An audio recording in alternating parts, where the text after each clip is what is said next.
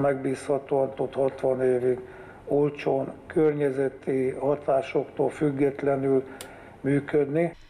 Ilyen a nukleáris biztonsági szabályzatban szereplő elvárásoknak mindenben eleget tevő Fukushima álló úgynevezett 3 plusz generációs modern blokkok épülnek Pakson, mondta el Süri János miniszter a Magyarországi Nemzetiségek Bizottsága Pakson tartott kihelyezett ülésén. Beszélt arról is, hogy több mint 300 engedélye rendelkezik a Paks 2 projekt, a jogerős környezetvédelmi és telephelyengedély kiadását minden körülményre kiterjedő elemzések alapozták meg. Az aktuális feladat a műszaki megfelelőséget igazoló létesítési engedélykérelem elkészítése, tette hozzá.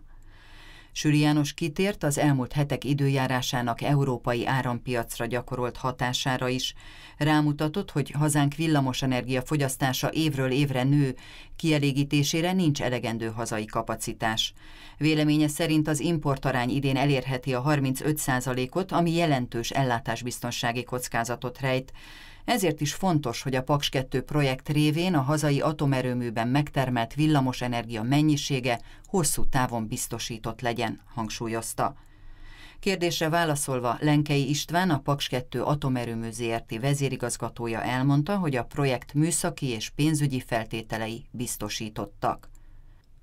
A Magyarországi Nemzetiségek Bizottsága tagjai az ülést megelőzően látogatást tettek a Paksi atomerőműben, így annak tevékenységéről és az atomerőművi kapacitást hosszú távon fenntartó beruházás részleteiről is első kézből kaptak tájékoztatást.